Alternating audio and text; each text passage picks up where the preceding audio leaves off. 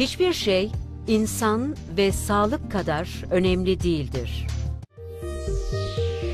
Avrasya Hospital Sağlık Rehberi teknolojisi ilerliyor. Biz e, her yıl 2-3 yılda bir e, yeni cihaz geldi Türkiye'ye işte. Şu daha e, fazla Tesla, daha az Tesla, dijital tomografi, dijital radyo işte mamografi.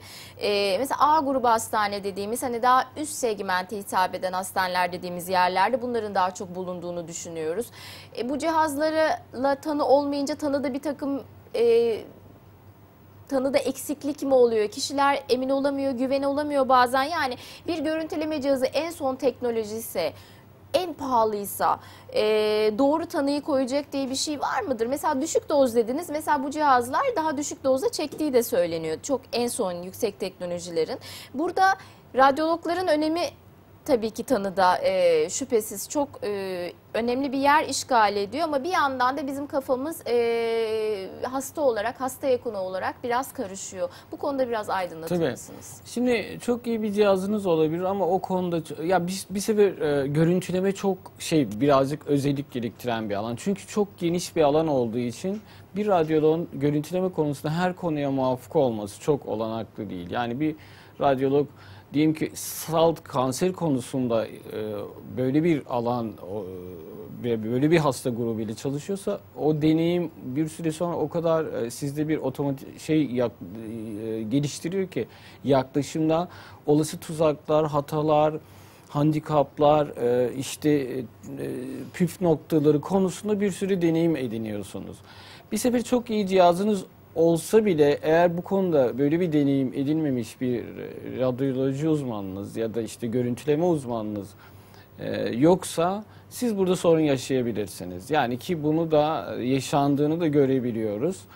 Bu açıdan bence hani e, elbette ki cihazların güncelleş, güncel e, hale getirilmesi bir takım olanakları Yani da son arttırıyor. teknolojiyi Yani mesela bizim de şu anda Olması. hastanemiz aşağı yukarı cihazlarımız işte güncel cihazlar. Yani şu anda dünya ölçeğinde kullanılan e, tanı ve tedavilerindeki cihazlara eşdeğer cihazlarımız var. İşte diyelim ki 128 kesitli tom, e, multislice bir var. İşte e, MR, e, 1.5 Tesla MR'ımız var. E, üst segment bir e, sonografi cihazımız var, mamografimiz var ve diğer e, iki kesitli konvansiyonel tomografimiz var e, gibi.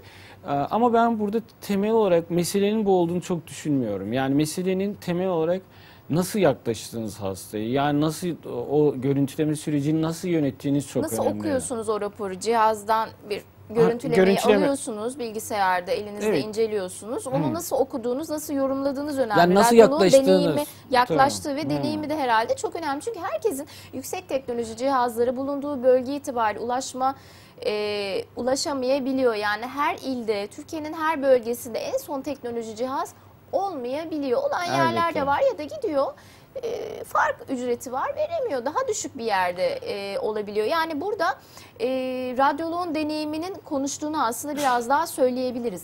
Diğer açılardan da bu açıdan da herhalde. Evet yani ben tabii demin söylediğim gibi yani ben temel olarak kanser tanısının e, cihazların gelişmişliğiyle çok ilintili olduğunu çok Tamam. düşünmüyorum. Yani evet bir parça ilişkisi olabilir ama temel olarak burada yaklaşım çok önemli olduğunu düşünüyorum. Bu yaklaşımın e, süreci daha çok e, iyi yö- yönettiğini ve iyi belirlediğini düşünüyorum.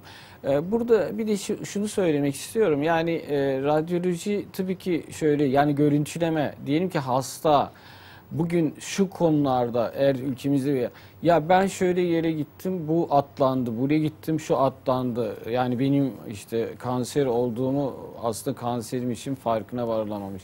Şimdi bunların tabii birkaç tane sebebi var. Türkiye'de bir iki tane sorun var. Yani bir sefer bir radyolog belli sayıda hasta bakmalı. Yani onun üzerine çok sayıda çıkarsa hem e, dikkatiniz azalıyor yani algı şeyiniz azalıyor. hem de hastaların hepsinin o detaylı e, anlamda e, klinikleriyle öğrenmeniz, aile öyküsüyle öğrenmeniz, e, doktoruyla ilişki kurmanızı çok zorlaştıran bir şey. Bu hasta sayısını sınırlamak radyoloji açısından çok önemli. Hem görüntülemenin daha iyi bir tanıya e, kadar taşınması açısından olanak sağlar. O açıdan şunu söylemek istiyorum. Yani burada birkaç tane etmen var. Bir tanesi e, radyolojinin radyoloğun deneyimi çok önemli. İkincisi e, yeti, özellikle bu alanla iliş, ilintili çalışan bir radyoloğun çalışmış olması önemli. Tabii ki üçüncüsü elinizdeki teknik donanımın ve teknik imkanların e, size yetecek düzeyde asgari olması gerekiyor. Hiçbir şey insan ve sağlık kadar önemli değildir. Avrasya Hospital Sağlık Rehberi